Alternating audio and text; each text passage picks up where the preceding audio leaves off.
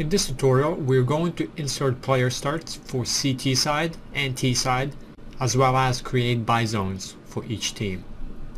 So first, let's cover the player starts. To insert player starts, you need about 10 player starts for CT side and for T side. To do that, we can use the entity tool. Once enabled, on the right hand side, under objects, we have info player terrorist, and also we have, if we scroll up a bit, info player counter terrorist. So let's select info player counter terrorist first and left clicking we can start placing as many of player starts as we need. If we need to we can go into top view then using the selection tool select each player model click a few times until you get the rotation handles and rotate to make the model face where the player will look when they spawn. Another important factor to consider is if we go into side view, you need to raise each player start off the ground so it doesn't get stuck into the ground when you spawn. This is very important and we need to do that for each player model. So I'm going to select all of the placed models and just raise them up so they're off the ground. And then we can rotate them all together. You also want to space each player model about 128 units away from each other so they don't stack on top of one another. So you want to give them enough space so they can spawn. Once you've placed about 10 player spawns, uh, we need to do the same thing for T side. So let's go all the way on the other side, enable the entity tool, use the drop down menu and select info player terrorist. Let's place one and go into the top view. You can press Ctrl E to center your selection in the orthographic viewport and let's rotate it.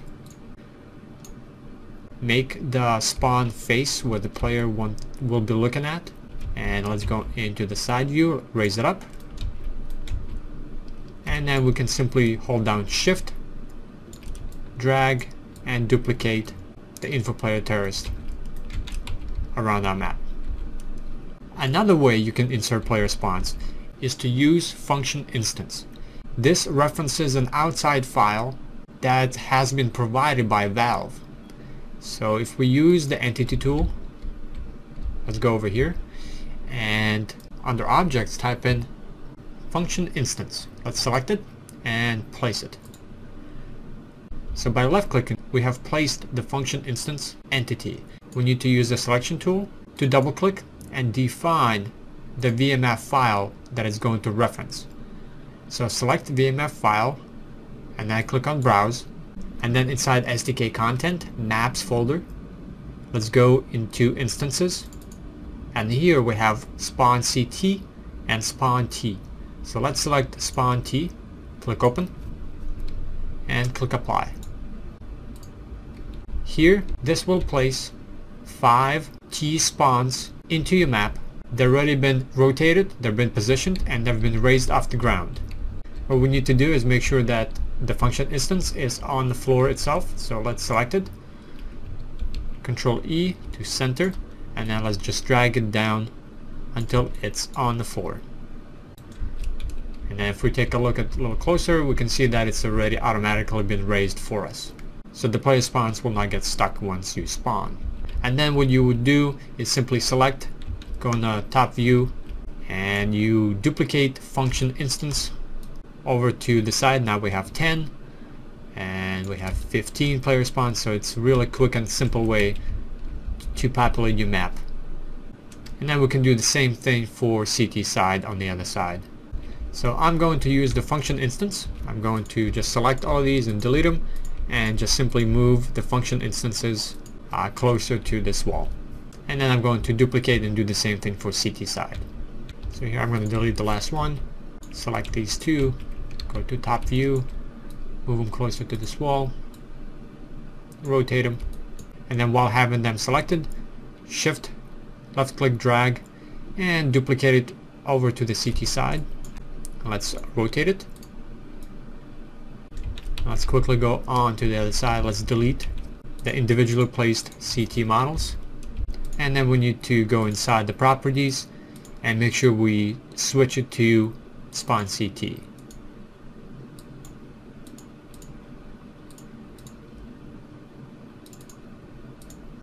And here we are, we have 10 quickly placed player spawns for each side. Next, let's create buy zones for each team. To do that, we need to create a brush and then tie that brush to an entity called function buy zone. To do that, let's select the block tool. Let's go into top view. And let's surround our CT side using this brush. So let's create a template of the brush here. Let's go in the side view. Let's move this brush up so it's touching the ground and raise it up above the players' heads. In the perspective viewport, this is what it looks like. Now once we are happy with the selection, click enter. Right now we have the default texture applied. We need to change this default texture to a trigger texture. So let's use the toggle texture application. Let's go to browse and we need to filter trigger. Select this trigger texture, double click and then hold down shift and right click to apply to every single face of the brush. So we have a trigger texture on every single face on that brush. Let's close it. The trigger texture will be invisible in game. Next we need to tie this brush to an entity. Right now this is a solid object. To tie it to an entity we need to select it, press Ctrl T or go to tools and choose tie to entity. Once we do that we need to change the object properties for this brush to function buy zone. Click apply. Then we need to select team number and use the drop down menu and define for which side we want to use this buy zone for. In this case it's counter-terrorist. Click apply. Now that we have one created we can do the same thing for the other side but instead of doing that I'm simply going to duplicate shift drag for the T side. Go all the way over there and just double click and change the team number to the Terry side and click apply. So at this point this is it. If we go in the game we're able to buy weapons inside each buy zone for each team. Let's choose CT side and if we go into buy zone we're able to buy our weapons.